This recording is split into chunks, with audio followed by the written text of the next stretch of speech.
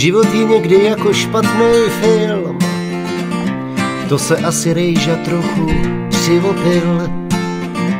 Doma říkali mi chlapče, nesmíš krást. Zrovna dneska jsem měl na mále a šel se na zahradu s lízou pást.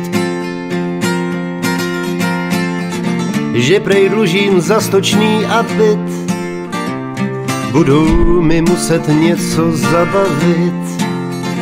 Nechtěj auto ani mojí krásnou choť. Vedou si mojí lízu a to mi není ani trochu vhod.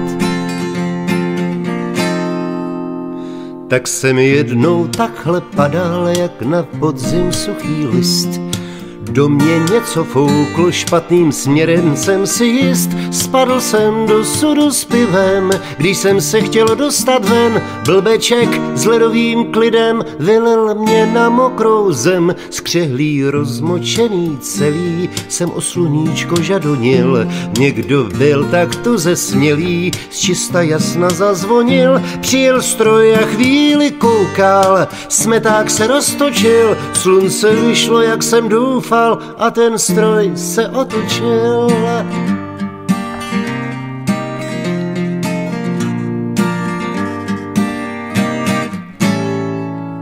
Život je někdy pěkně na rovy, když dostaneš dvakrát za den do huby. Jednou je to za nezaplacený dluh, Doma za kapsy prázdný, no tak pánové, teď pomáhej mi Bůh.